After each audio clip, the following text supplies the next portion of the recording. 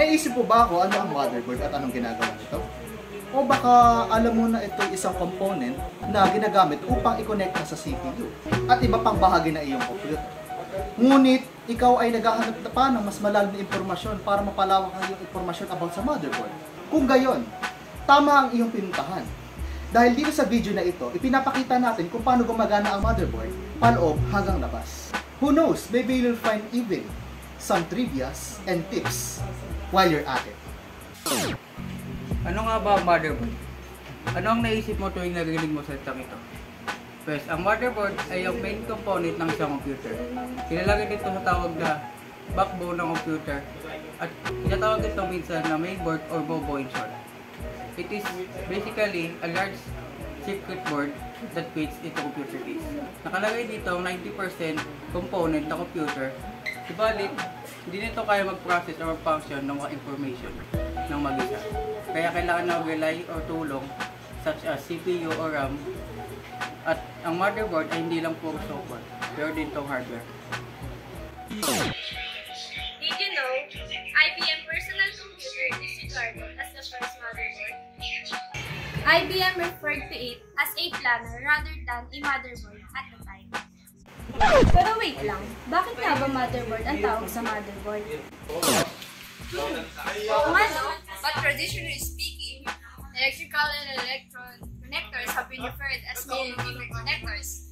And the PC board are largely female, the motherboard's primary and main boards are not considered as the main ones.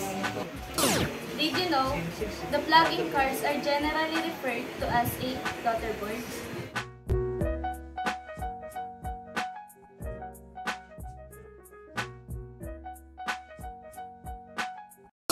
A few moments later. Kung may alam ka sa motherboards or parts ng computer na bibilhin, mas maganda na kayo or ikaw mismo ang pipili ng components na ito. Both sa nagkaroon kayo ng knowledge or idea, nagkaroon din kayo ng experience sa pagbili nito.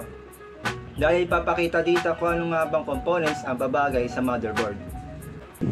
Tips. I would not recommend picking motherboard first and putting a CPU in it. That's little counterproductive because you need to know what CPU you're gonna buy first.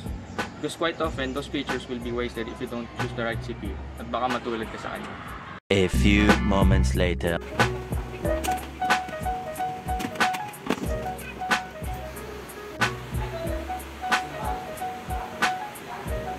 Hala, ba't ganun? Ayaw gumana.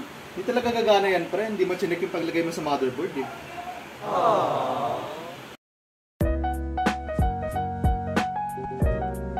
of the most crucial part of computer system is the motherboard.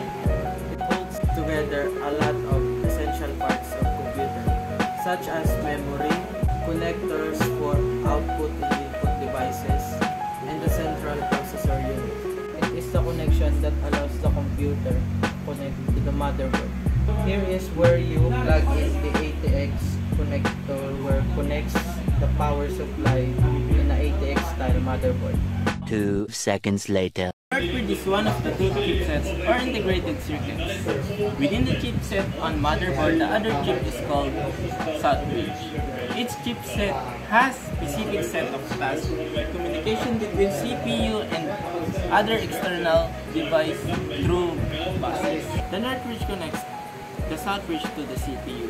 It is often referred to as the memory controller hub. It handles the faster component on the motherboard including RAM, ROM, basic input-output, system BIOS, accelerated graphics port, AGP, such as PCI Express and other Southbridge chip as well as the CPU. It is also controls CPU cache if it's located on the motherboard. Two seconds later. Hard drives and CD DVD drives can be connected to motherboard using the Integrated Drive Electronics or IDE interface. Two devices were linked together by the original IDE 16-bit interface using a single cable ribbon. Advanced Technology Attachment ATA or Intelligent Drive Electronics are other names for IDE.